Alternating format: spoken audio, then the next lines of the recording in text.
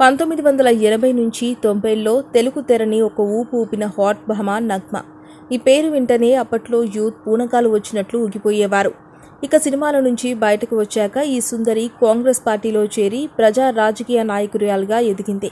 అప్పట్లో గ్లామర్ ఏమాత్రం తగ్గకుండా అలాగే కాపాడుకుంటూ అడపాదడపా అప్పుడప్పుడు సినిమాల్లో కూడా కనిపించింది. కానీ రీసెంట్గా మాత్రం కేవలం ప్రత్యక్ష రాజకీయాల్లో మాత్రమే ఉంటోంది. ఈ టైంలో నగ్మాపై నెటిజన్లు విరుచుకుపడుతున్నారు. తను చేసిన వ్యాఖ్యలకి పోస్టులకి ఇప్పుడు నెటిజన్ల చేతికి చిక్కింది.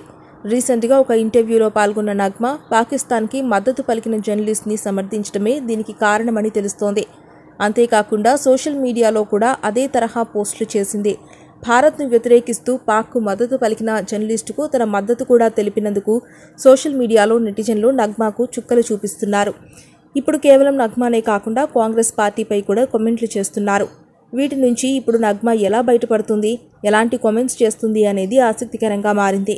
నగ్మా వీటిపై ఎలా స్పందిస్తుందో అని నెటిజన్లు వెయిట్ చేస్తున్నారు. అది మ్యాటర్. మరిన్ని లేటెస్ట్ న్యూస్ అప్డేట్స్ కోసం జిఎన్ఎన్ తెలుగు ఛానల్ను సబ్స్క్రైబ్ చేసుకోండి. Please subscribe GNN TV. Thank you.